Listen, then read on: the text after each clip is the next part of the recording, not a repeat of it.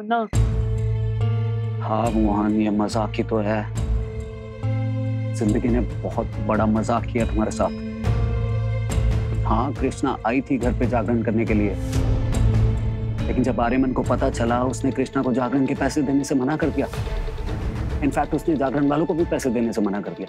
पर आर्यमन से ऐसा क्यों कर रहे वो तुम जैसे लोगों से नफरत करता है।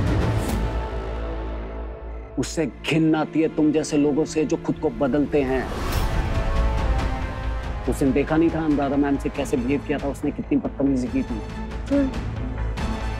कृष्णा दीदी ने उन्हें बताया नहीं। अगर मुझे ट्रीटमेंट नहीं मिला तो मेरी जान जा सकती है। बताया था।